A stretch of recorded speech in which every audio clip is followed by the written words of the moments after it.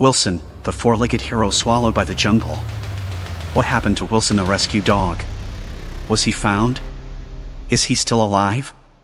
The story of the rescue dog that touched the world, especially Colombia, Wilson, a symbol of hope in the darkness of the jungle.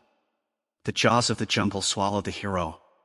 In the depths of the Amazon, a four-legged hero fights to survive. Wilson, the rescue dog who saved four children from a plane crash, faces the wild nature in a battle of uncertainty. His black and fire for once shone with the pride of a mission accomplished.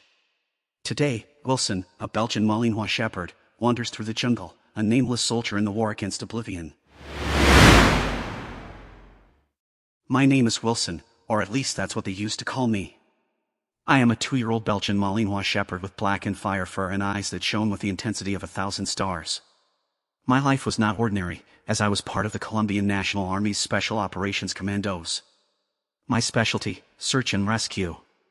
My last mission, Operation Esperanza, marked me forever. A plane had crashed in the thick jungle of Guaviare, and four children and three adults were on board. The hope of finding them alive faded with each passing hour. But I did not lose faith.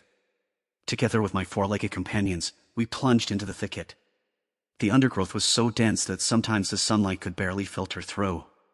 The heat was suffocating, the mosquitoes insistent, and the terrain a maze of obstacles. But my sense of smell was infallible, and my determination unbreakable. After days of tireless searching, we located the wreckage of the plane. A wave of sadness washed over me as I found the lifeless bodies of the adults. But I did not give up hope. The children could be alive. I kept tracking, guided by a familiar scent, that of innocence. And then, I saw them. The four children, dirty and scared, but clinging to life. A torrent of joy ran through me when I knew I had found them. The following days were about survival. I provided them with water and protected them from the vermin. Their innocence gave me the strength to keep going. We played hide and seek among the trees. I told them stories to keep them hopeful, and I licked their tears to comfort them. However, the jungle was a formidable enemy. One day, while exploring for food, I became disoriented. The thicket swallowed me up, and no matter how hard I tried to return, I could not find my way. For days I wandered through the jungle, fighting against hunger and loneliness. My fur became matted, my paws lacerated, and my spirit began to falter. But in my heart, the hope of seeing those children again, of being part of the pack again, still burned. One day, I heard a familiar noise. It was the barking of my canine companions and the call of my antlers and my guide. Joy filled me and I ran towards the sound many times, but no matter how hard I tried, I never found them.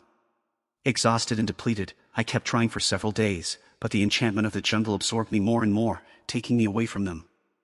I could never find them, I had to resign myself like a warrior. Operation Esperanza was over. The children had been rescued, and I, despite being wounded and emaciated, had fulfilled my mission. I was officially declared missing, and the search operation for me was suspended. The jungle adopted me into this day, February 13th, 2024. No one knows for sure what my fate was. I must thank everyone who cared about me, everyone who did everything possible to find me, everyone who longed for my return through their prayers and good wishes. I am not a hero. I am just a dog who did his job. But I carry in my heart the memory of those children and the satisfaction of having given them a second chance. My name is Wilson, and although the jungle has swallowed me, my spirit lives on. I am a four-legged soldier, an anonymous hero, a symbol of hope in the darkness of the jungle. One moment, please! Our goals in creating this content are to provide 1. Entertainment 2. Reflection 3. Raise awareness